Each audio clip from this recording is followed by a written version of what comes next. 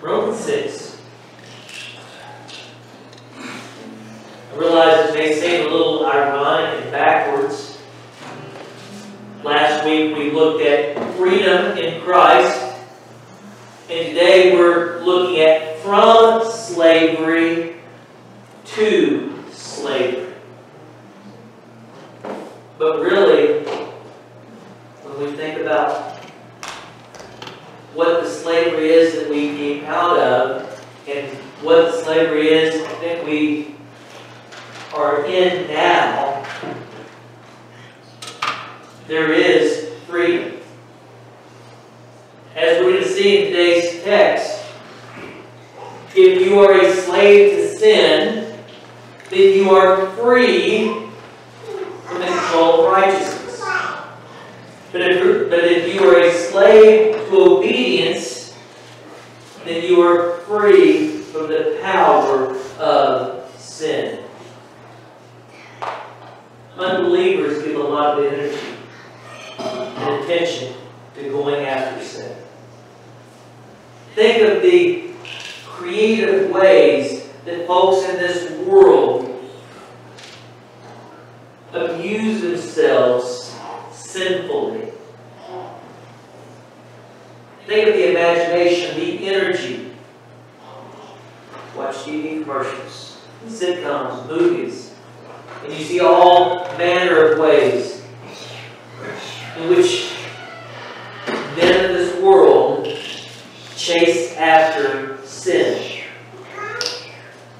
So I want to ask you, do you use the same imagination? Do you use the same energy to pursue God's kingdom? Do you and me use the same energy now that we did in our lives before Christ when we were pursuing sin and sinful pleasure? Do we use that same energy now to pursue holiness? Because if we are free from the slavery of sin, then we are free to the slavery of Christ. Think about the Apostle Paul. What changed between his pre conversion experience and his post conversion experience? Was he not zealous when he was Saul of Tarsus? Was he not zealously going after the people of the way? Was he not zealously persecuting the church of God? But on the road to Damascus, the Lord spoke to him. Saul, Saul, why persecutest thou me?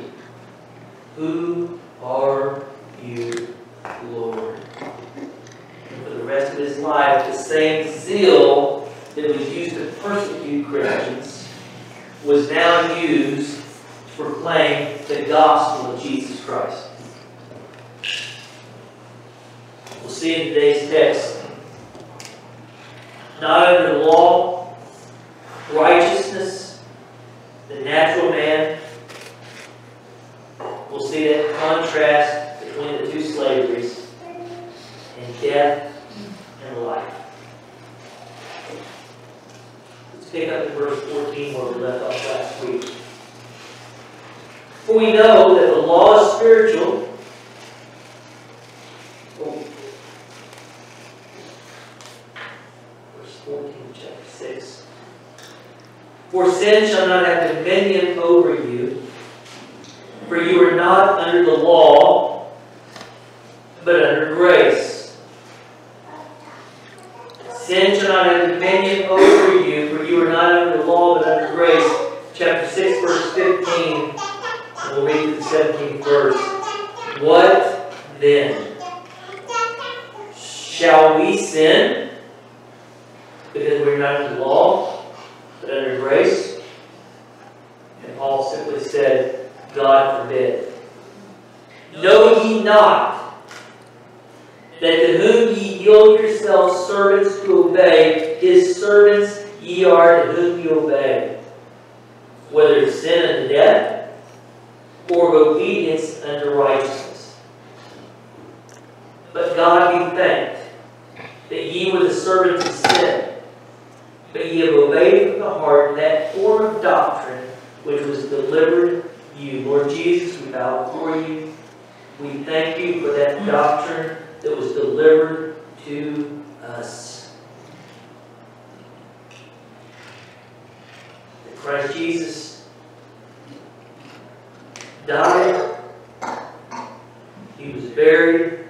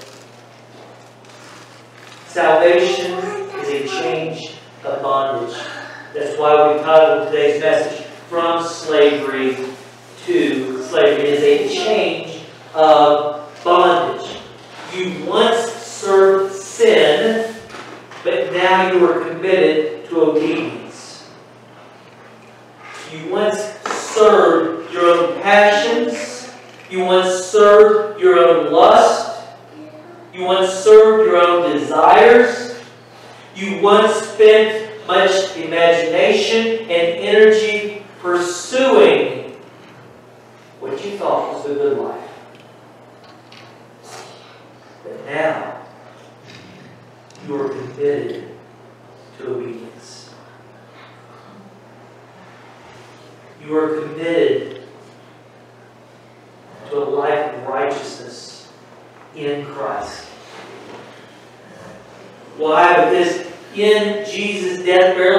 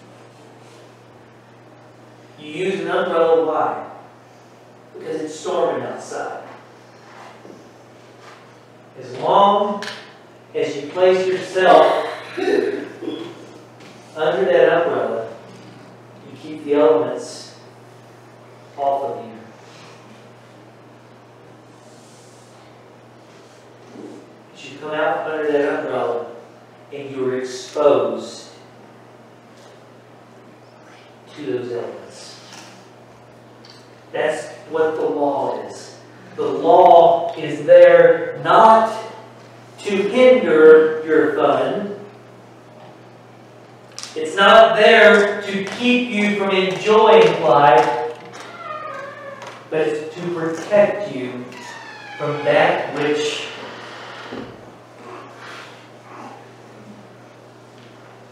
can harm you. What you submit to is your master. Turn with me to John chapter 8.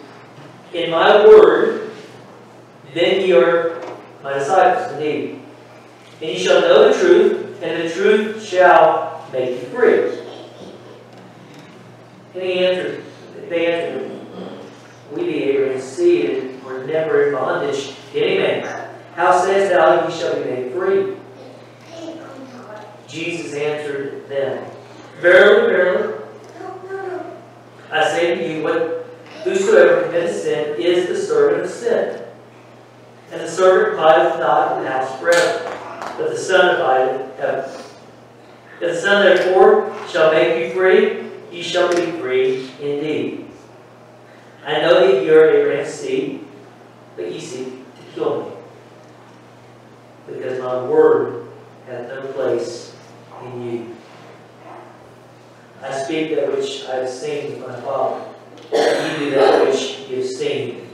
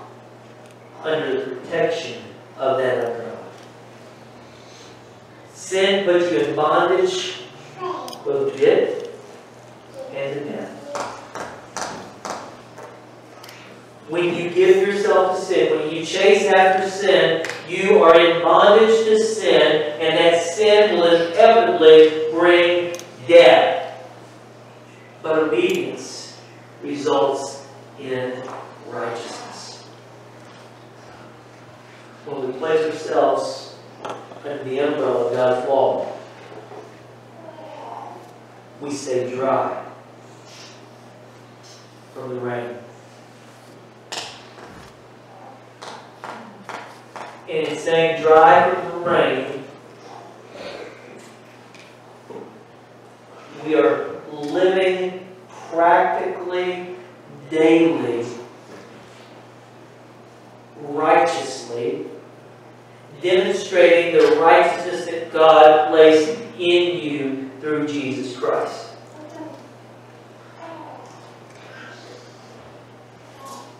We see in these verses the law of Christ.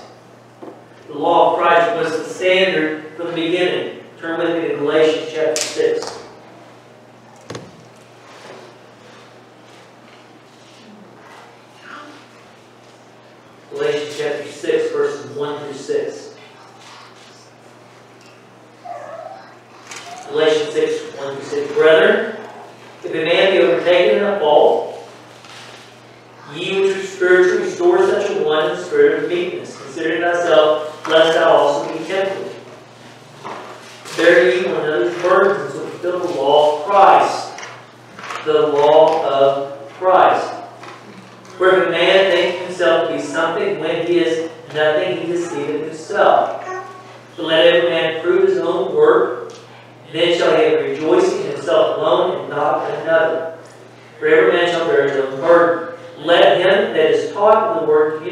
hand that teaches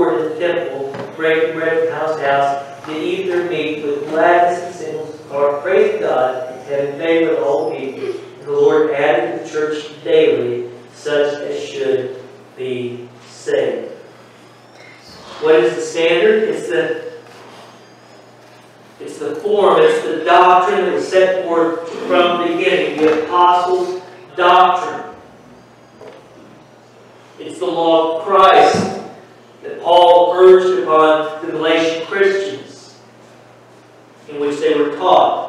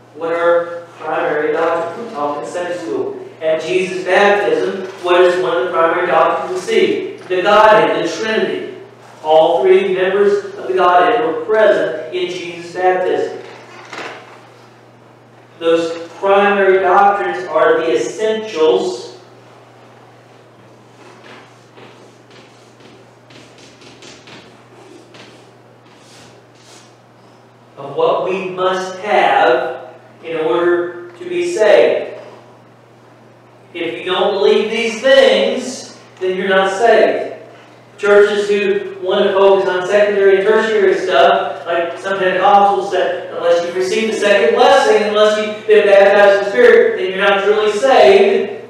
They're making a secondary doctrine something that's primary, that's false teaching and heresy. Primary doctrine is the essentials, the death, the burial, the resurrection. If we eliminate the death of Jesus, we cast Christianity to the side. If we claim that the resurrection was not literal and bodily, then we cast Christianity to the side. Look what Paul says in 1 Corinthians chapter 15. We won't take time to turn there. But in chapter 15 of 1 Corinthians, Paul gives a case for the resurrection.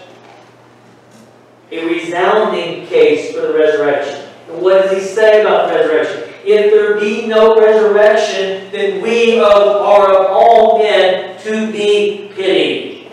We may as well eat, drink, and be merry, for tomorrow we die. Paul was able to point to those eyewitnesses who saw the resurrected Jesus. And he said there were even 500, many of whom were still alive as of the time of Paul's writing his letter to the Corinthians, who physically saw with their own hands. Physically saw with their own eyes. I was jumping to my next statement. Remember when Jesus appeared to Thomas? Because Thomas said, unless I will to touch him, I will not believe. 500 people saw him with their own eyes. Peter says to Thomas, what? Place your hand right here. Place your hand here. Lord, I believe. What did Jesus say to Thomas? Because you believe. Because you believe. Because you saw me, you believe.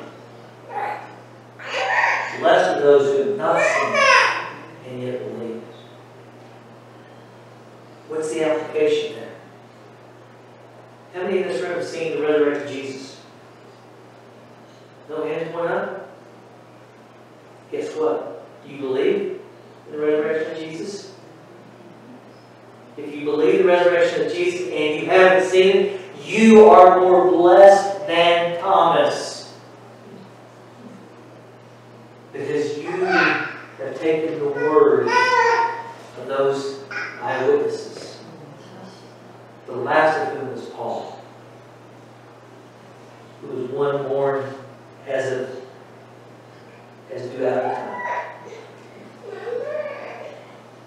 These essentials are teachings. These are the norms of Jesus and his disciples, the apostles. In these essentials, we have the demands of discipleship. The demands of discipleship. In our day, there's a lot of churches that walk down the aisle, shake the preacher's hand, pray a prayer, fill out this little commitment card. If you haven't been baptized, we'll dunk you. Nonetheless, now you're a member. What's the demand of those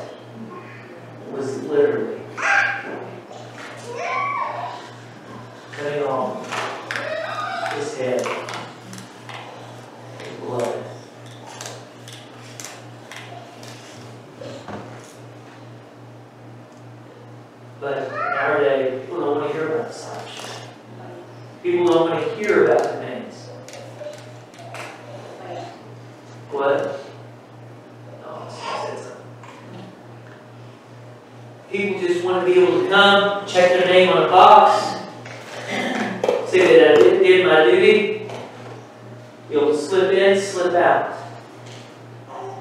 And they go on with their life as if nothing has ever been affected of the gospel of Jesus Christ.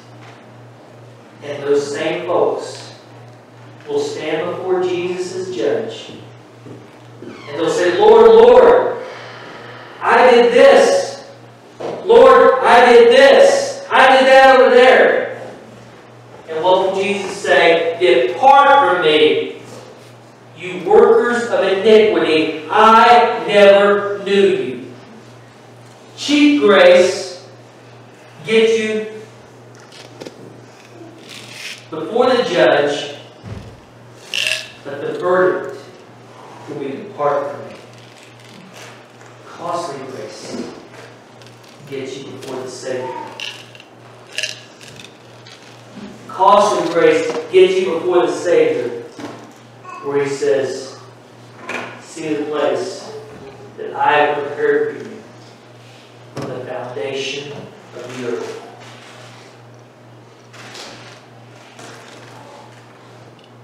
The demands of discipleship affect our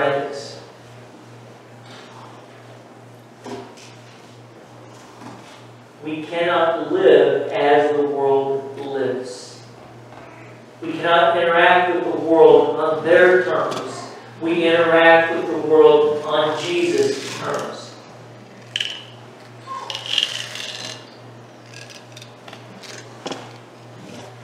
The law for the believer is the foundation. We stand on that foundation.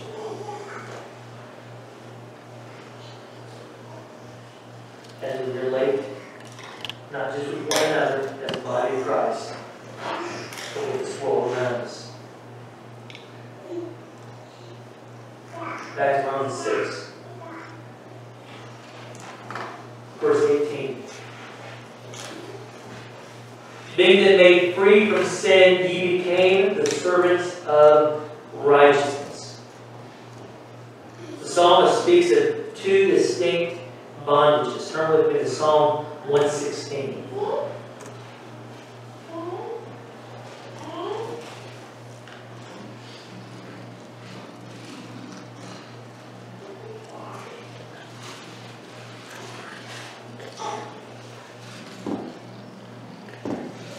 Psalm 116, verses 15 and 16. Precious in the sight of the Lord is death, is the death of his saints. O Lord, truly I am thy servant. I am thy servant, and the son of thine handmaid. Thou, loose, thou hast loosed my bonds. The psalmist said he was the servant. And Lord and loose his bonds. What are these two distinct bondages? What is the bondage that that psalmist was describing? That psalmist was describing a bondage that is rigorous, that is relentless, and that leads to death. Sin leads to death. Always, always leads to death. But the other bondage is joyous, it's satisfying, and it leads to life and peace. Freedom from the bondage to sin is abundant life. Freedom from the bondage to sin is abundant life. Jesus promised that He will give us life. And He will give what? Abundantly.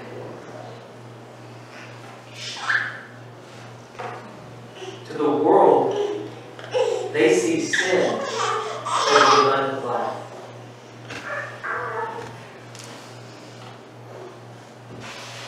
But in chasing after sin, each successive sin has to provide a higher high than the one before. You can never experience the abundant life in chasing after sin. You can only experience the abundant life in chasing after the Savior. Verse 19. I speak after the manner of men, because of the infirmity of the flesh. For you yielded your members servants to uncleanness and to iniquity, unto iniquity. Even so now yield your members servants of righteousness and holiness.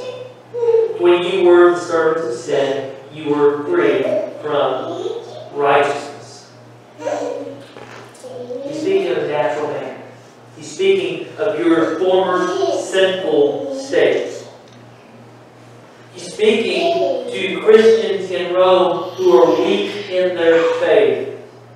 This applies to a lot of folks in our society who name the name of Christ but are weak in faith. So it demands that Paul use strong language. Life before Christ is filled with what? Life before Christ is filled with impurity and is filled with ever increasing wickedness.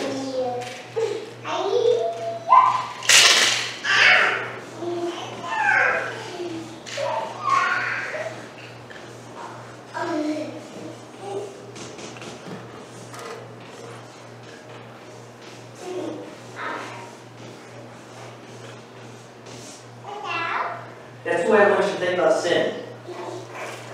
Because we hear the word sin and we've heard it so many times that we don't really picture what it is. When we look to the Ten Commandments and we get different pictures. But sin is ever increasing wickedness. One sin leads to a deeper sin, leads to a deeper sin, leads to a deeper sin, leads to a deeper sin, because sin is never going to be satisfied until it engulfs you totally. That's why it's ever increasing wickedness. The slave of sin, as I said previously, is free from the control of righteousness. Before you got saved, Did you have any controls and righteousness upon your life? No. You were free from that control. You did as you pleased. You chased after that which you wanted to chase after. You pursued that which you wanted to pursue. You didn't have the bondage of righteousness. But that freedom was the most undesirable freedom. Why is that? Why is it that the slave of sin has a form of freedom that is so undesirable? Let's think in terms of what that slave to sin and what a, a slave of obedience looks like. Verse 21. What fruit had ye then in your former life in those things whereof ye are now ashamed? For the end of those things is death. Verse 22. But now being made free from sin and become servants to God, ye have your fruit and the holiness, in the end, everlasting life. Sin leaves you with memories that produce shame. Think about your, think back on your life. This is not testimony time, so you don't have to verbally share, but think upon your life. Think about the memories that you have from over the years. Now, there are some memories that are good memories. There are some memories that produce nostalgia. But there are other memories that you have that produce what? They produce shame. You're ashamed of that person that you were. That's what Paul says here.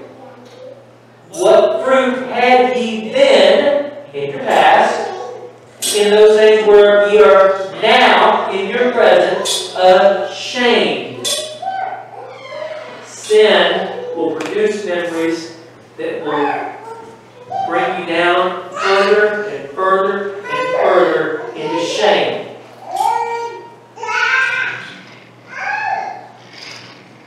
The only way for the unregenerate to cope with the shame is to give in to the sin of pride and arrogance. Pride and arrogance is the sinner's coping mechanism for his own shame. Obedience produces holiness and sanctification.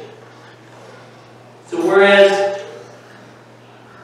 slavery to sin produces shame, slavery to obedience produces holiness and sanctification. I another S. Turn with me back to Galatians chapter 6.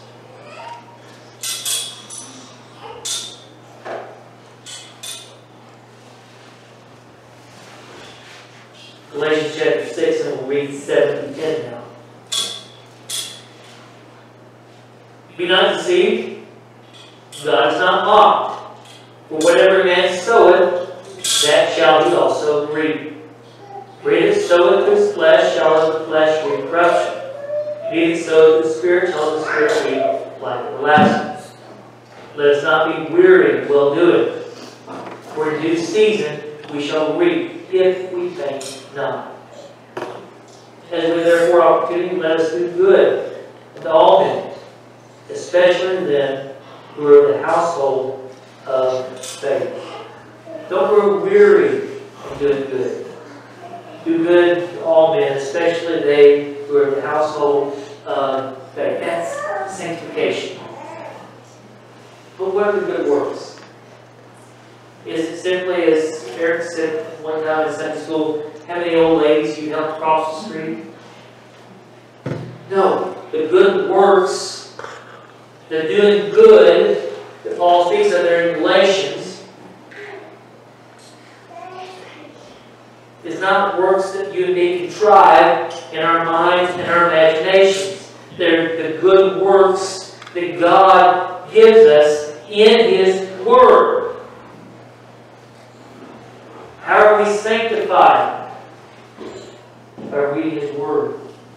Allowing His Word to wash our hearts, to renew our hearts daily. How are we sanctified? By spending time with Him in prayer. How are we sanctified? By coming together for corporate worship, fellowship with the saints. How are we sanctified? By being equipped for the work of ministry.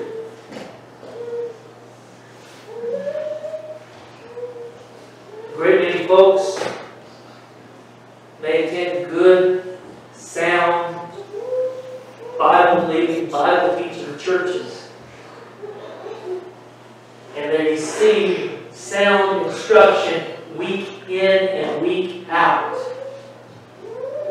But they never carry their instruction from their pew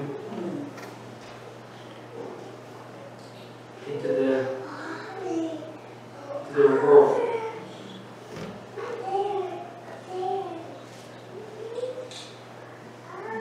Far too many folks want to go to practice.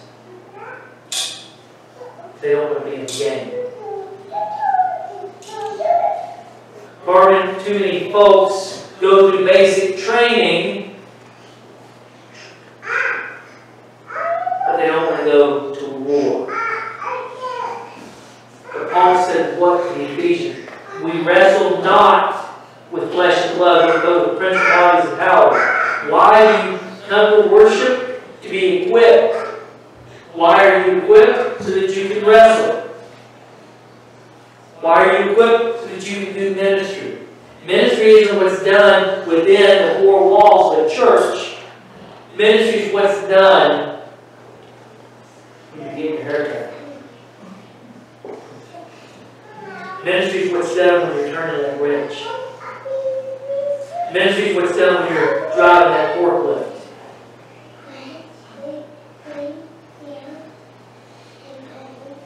The slave of obedience is free from the control of sin. I said last week. If you're a believer, you're going to be tempted. If you're a believer, you are going to occasionally fall into sin, but you're not going to wallow in that sin. You're not going to remain in that sin. Because if you're a slave of obedience, if you're free from the control of sin, you know what? You have real freedom. You don't have an undesirable freedom, you have real freedom. Eternal life is the sequel. Eternal life is the sequel to genuine discipleship. Mark chapter 10.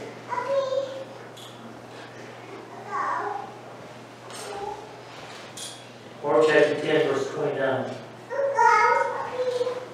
Jesus answered and said, Verily I say to you, there is no man that left house, or brethren, or sisters, or father, or mother, or wife, or children, or lands, for my sake and the gospel. But he shall receive an hundredfold now in this time houses, and brethren, and sisters, and mothers, and fathers, and children, and lands, with persecutions, and in the world to come, eternal life. But many that are first shall be last, and the last first. In this life, if you profess Jesus Christ as Lord and Savior, if you surrender to His costly grace, then you are disciple. The moment you close your eyes for the last time,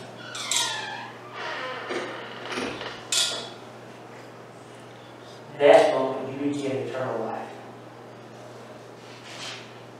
Eternal life is the sequel to discipleship. In verse 23, probably one of the most well-known verses in all of Romans. Indeed, this is part of what's commonly referred to as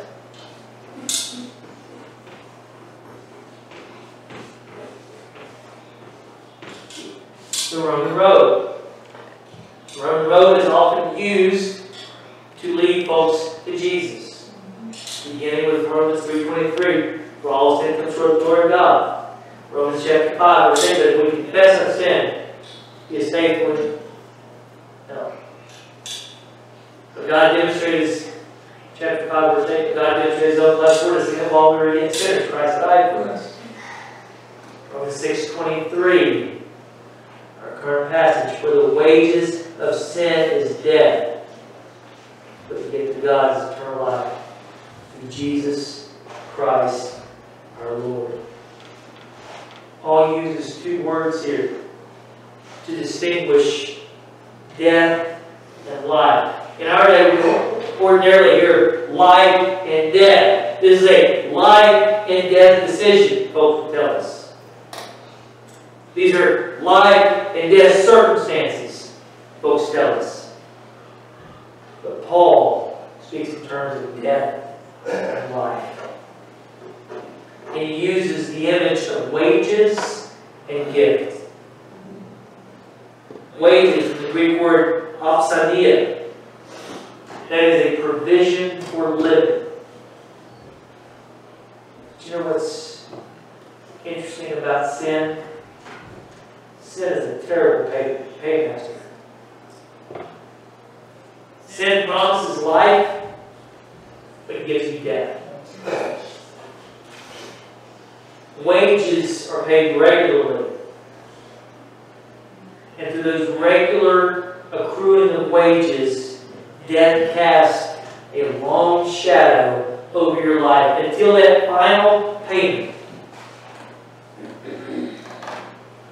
But Paul also gives the image of life gift. From the Greek word charisma.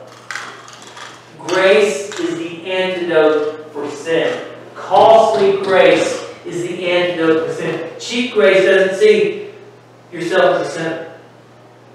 Cheap grace, in cheap grace, salvation, Christianity is just something that I can add to my life.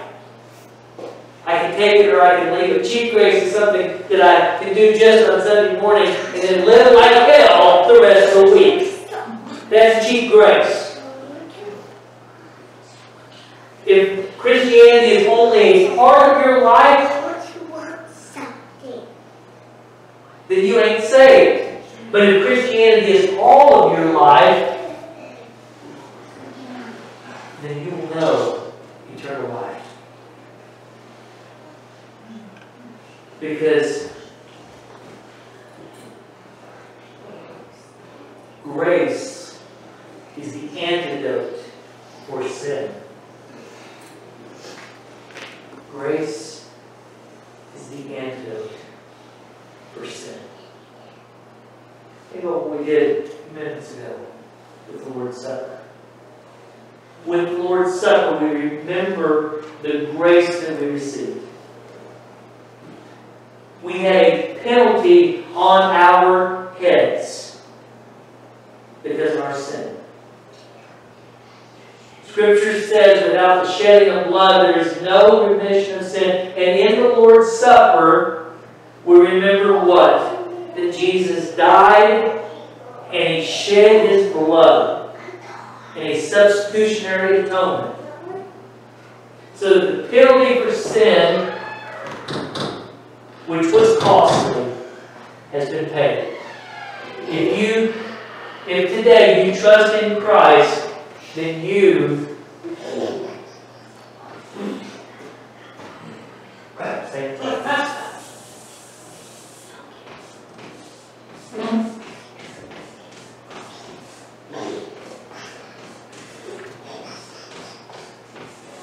If today you trust in Christ, then you have stamped, stamped across your heart the words paid in full. Because His grace is costly. His grace is sufficient. His debt is sufficient to cover the sin debt that you have.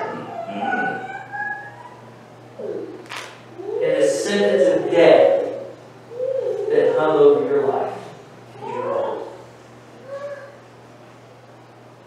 If you do not serve God, then you serve sin. It's that simple. It's not door number one, door number two, door number three. There are two doors. And you either walk through door number one or you walk through door number two. You are either serving God or you are serving sin. There is no middle door. There is no door number three. You gain nothing by serving sin. You gain nothing by serving sin. You receive only shame and death.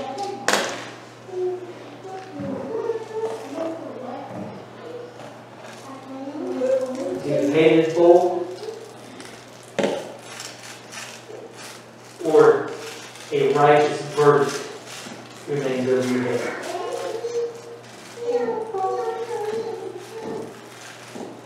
His grace cost Jesus dearly.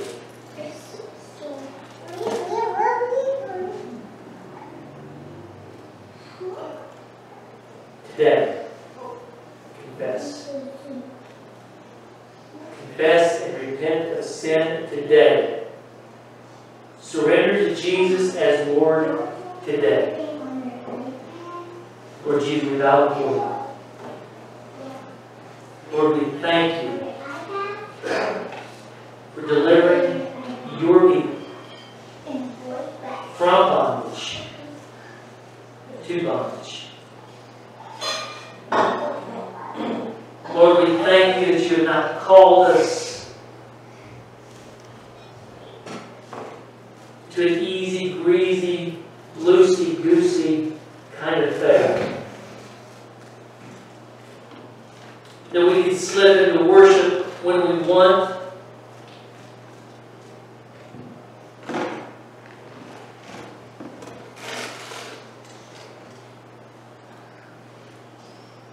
And choose other priorities when we don't want to. Lord, you called us to discipleship. And we are not